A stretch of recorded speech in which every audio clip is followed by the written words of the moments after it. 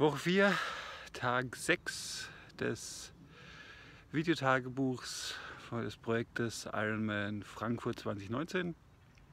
Ich bin heute mal wieder Fahrradfahren. Ich bin eigentlich am Rhein unterwegs, auch wenn man das hier jetzt nicht so richtig sieht, weil der Radweg hier ein Stück weit weg vom Rhein geht. Der Rhein ist dahin. Es sind ein paar Bäume ähm, dazwischen. Heute hat es jetzt äh, 8 Grad ungefähr. Ich habe mich doch nochmal dazu entschlossen, ähm, draußen zu fahren, nicht auf der Rolle. Das wäre nochmal einigermaßen zu nutzen. Ähm, ich bin ein bisschen zu frisch angezogen. Ich habe jetzt hier zwar solche, ähm, solche Überzieher hier für die, für die Schuhe, aber die sind relativ dünn. Das waren irgendwie ganz günstige, 2 Euro oder sowas. Äh, die sind äh, deutlich zu dünn. Ich habe eiskalte Füße.